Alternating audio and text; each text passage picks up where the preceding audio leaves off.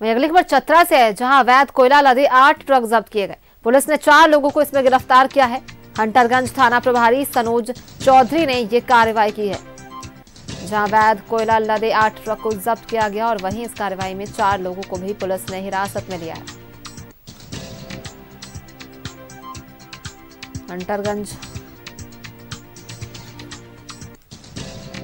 हंटरगंज थाना प्रभारी सनोज चौधरी ने ये कार्रवाई की है।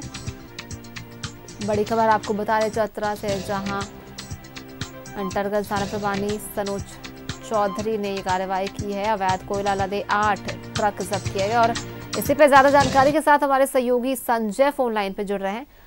संजय, देखिए, आठ ट्रकों को जब्त किया गया है कोयला लदे और ये बड़ी कार्रवाई, जहाँ थाना प्रभारी सनोज चौधरी ने ये कार्रवाई की। क्या कुछ और जानकारी आपके पास?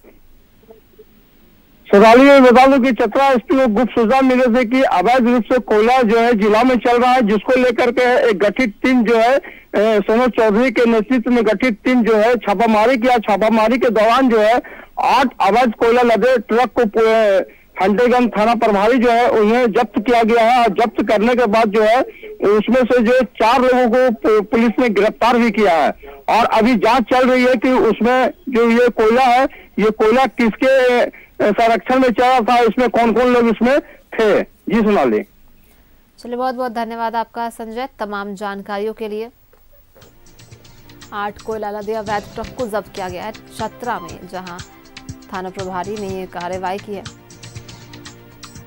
और इसी में चार लोगों को भी गिरफ़्तार किया गया है।